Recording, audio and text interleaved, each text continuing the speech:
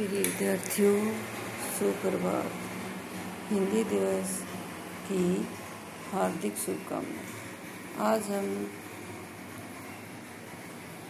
हिंदी दिवस के शुभ अवसर, आत्म परिचय, खुद का परिचय, है, उससे संबंधित जानकारी करेंगे।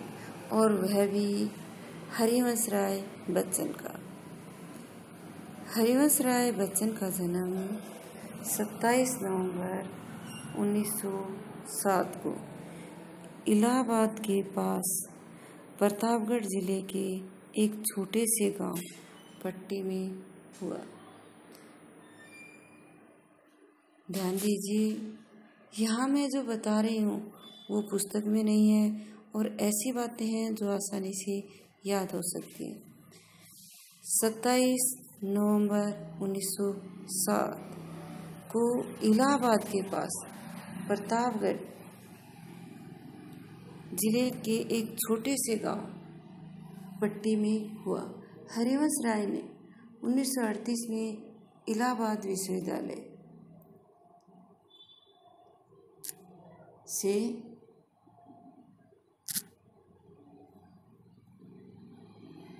अंग्रेज़ी साहित्य में एमए किया। और उन्नीस तक इलाहाबाद विश्वविद्यालय में प्रवक्ता रहे। 1926 में हरिवंश राय की शादी श्यामा से हुई थी, जिनका टीबी की लंबी बीमारी के बाद 1936 में निधन हो गया। प्रिय विद्यार्थियों, तुम्हें पता है कि ये अमिताभ बच्चन के पिता थे। तो यहाँ हमें पता चल रहा है कि 26 में इन्होंने शादी कर ली थी और 10 साल बाद ही इनकी पत्नी का देहांत हो गया। तो निश्चित है कि अजिताभ बच्चन और अमिताभ बच्चन का जन्म नहीं हुआ। इस बीच में नितान्त अकेले पड़ गए 1941 में बच्चन ने तेज़ी सूरी से शादी की। फिर उन्होंने दूसरी शादी की, जिनका नाम था तेज़ी बच्चन या पहले तेज़ी सूरी था। उन्नीस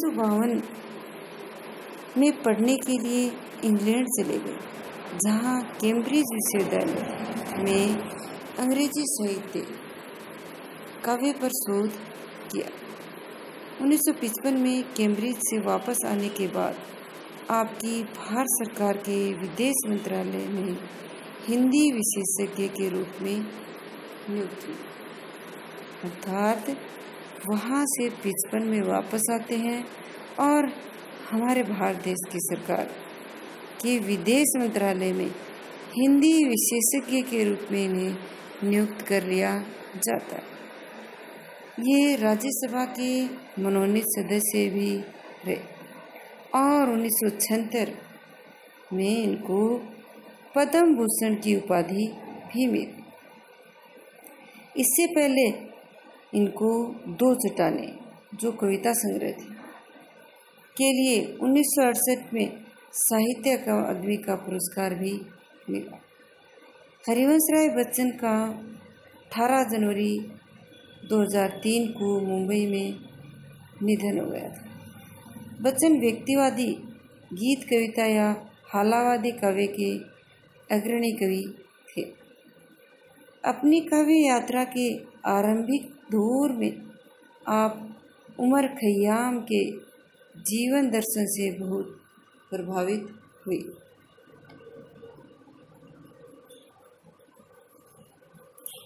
और उनकी प्रसिद्ध कृति मधुशाला। उमर खयाम की रुबाइयों से प्रेरित होकर ही लिखी गई। मधुशाला को मंच पर अत्यधिक प्रसिद्धि मिली और बच्चन काव्य प्रेमियों के लोकप्रिय कवि बन गए। कवि की पंक्तियाँ हैं। उसकी मधुशाला की मिट्टी का तन, मस्ती का मन संस्कृति की नाटकशाला में है पड़ा तुझे, बनना ज्ञानी है पड़ा मुझे, बनना प्याला। होना मदिरा का अभिमानी।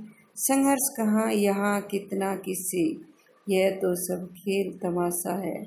वह देख यवनिका गिरती है, समझा कुछ अपनी नादानी। छिप जाएँगे हम दोनों ही, लेकर अपने अपने आसे मिट्टी का तन, मस्ती का मन। क्षण भर जीवन, मेरा परिचय। ये इन्होंने इसमें लिखा इनकी मधुशाला, मधु कलश, मधुबाला निशा निमंत्रण, एकांत, संगीत, सतरंगिनी, विकल, विश्व, खादी के फूल, सूत की माला, मिलन, दो चट्टाने, आरती और अंगारे इत्यादि प्रमुख रचनाएँ साहित्य अकादमी पुरस्कार। इन्हें मिला उन्नीस सौ पचपन और चौवन वासंती भी ने दो हज़ार तीन जो राष्ट्रीय शैक्षिक अनुसंधान और प्रशिक्षण परिषद द्वारा। इस पुस्तक में भी है, लिखा गया। इन्होंने मधुशाला में क्या लिखा देखिए मृत्यु भावों के अंगूरों की आज बना लाया हाला। प्रियतम, अपने ही हाथों से आज पिलाऊँगा प्याला। पहले भोग लगा लूँ, तेरा फिर प्रसाद जग पाएगा। सबसे पहले तेरा स्वागत करती मेरी मधुशाला। प्यास तुझे तो विश्व तपा कर। इस प्रकार उन्होंने मधुशाला लिखा। जीवन के आपाधापी में कब वक्त मिला? कुछ देर कहीं पर बैठ कभी यह सोच सको जो किया, कहाँ माना, उसमें क्या बुरा भला जिस दिन मेरी चेतना जगी, मैंने देखा मैं खड़ा हुआ हूँ इस दुनिया के मेले। हर एक यहाँ एक बुलाने में भुला इन्होंने अपनी इस कविता में लिखा।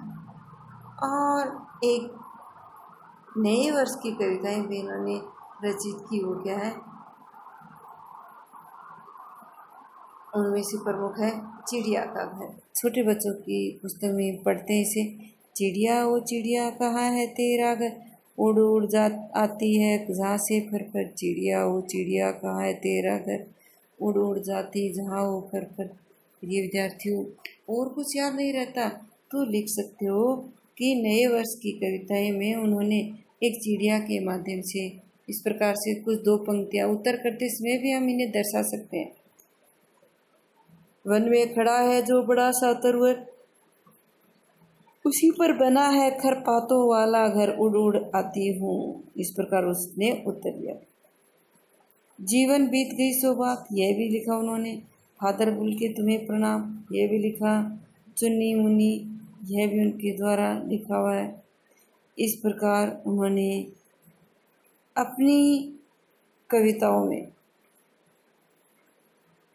प्रमुख स्थान दिया।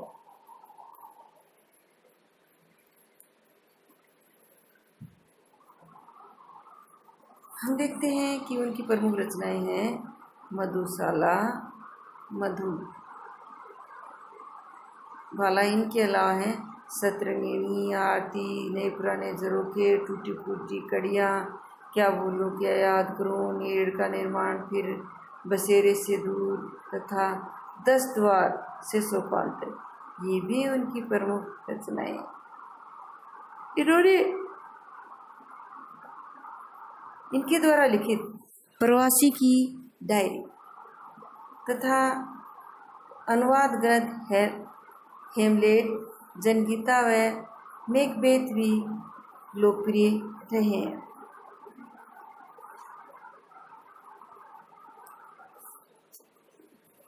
जब अमिताभ बच्चन हैं, वो तेज़ी बच्चन के पुत्र तेज़ी के दो पुत्र अमिताभ तथा अजिता।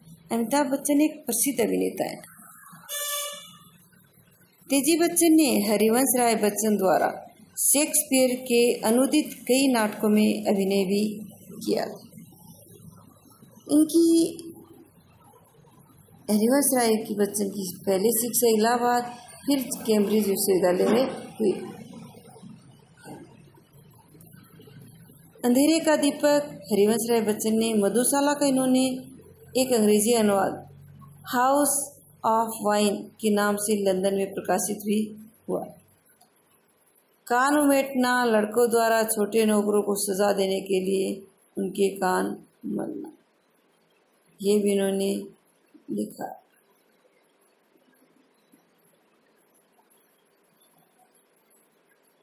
इस प्रकार इनके द्वारा अनेक कविताएँ गद्य और पद्य भी हैं। इन्होंने जो साहित्य लिखा। बच्चन आधुनिक काल के व्यक्ति काव्यधारा के अग्रणी कवि माने जाते हैं। व्यक्ति प्रधान गीतों के कवि के रूप में उन्होंने आत्म प्रकता निराशा और वेदना को अपने काव्य का विषय बनाया। उनकी प्रसिद्ध काव्य कृतियों में निशा निमंत्रण, मिलन यामिनी धार के इधर उधर आदि भी प्रमुख है। इन्होंने जो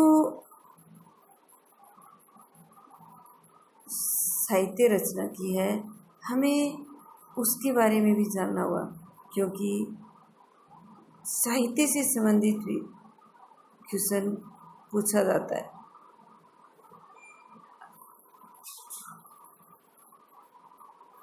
इसलिए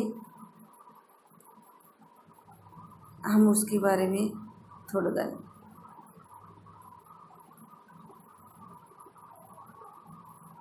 इन्होंने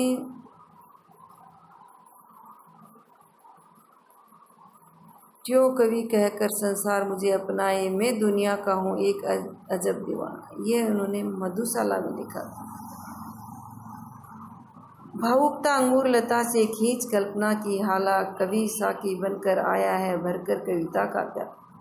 कभी न कण भर खाली होगा, लाख पिए, दो लाख पिए। पाठक गण है पीने वाले, पुस्तक मेरी मधुशाला।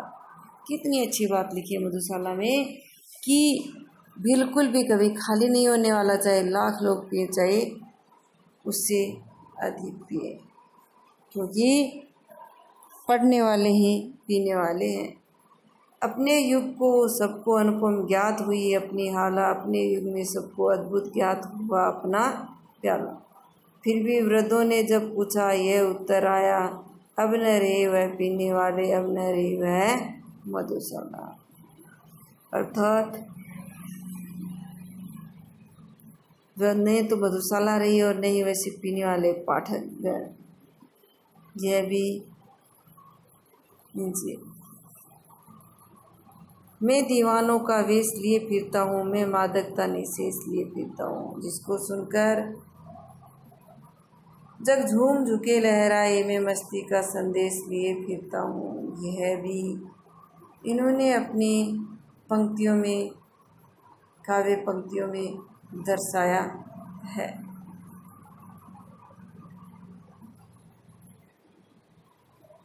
अर्थात हम ये कहें कि यह भी उनके काव्यगत विशेषताओं में प्रमुख है। उनका कवि। कवि का जो काव्य है,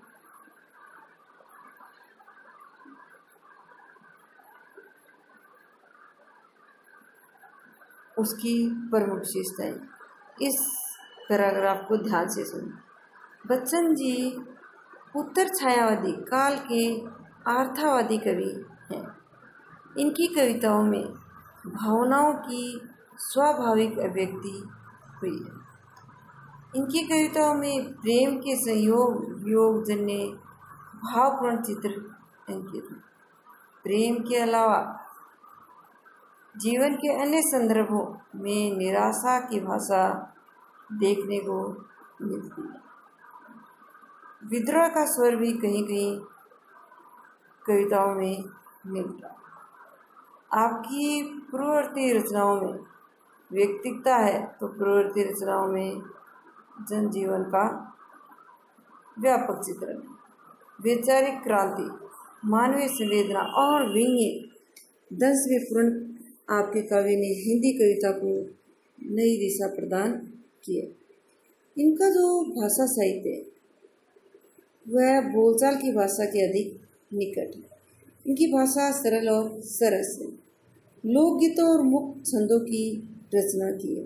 अपनी गीता, सरलता, सरसता और खुलेपन के कारण आपके गीत बहुत ही पसंद किए जाते हैं।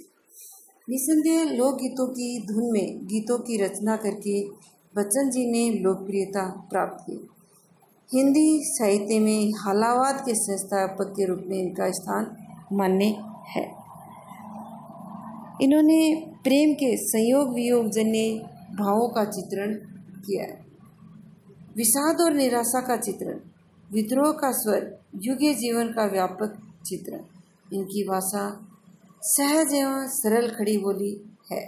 शैली गीतात्मक है। छंद मुक्तक हैं। विद्यार्थियों आगे पाठ का दिन हम आगामी कक्षा में करेंगे। धन्यवाद।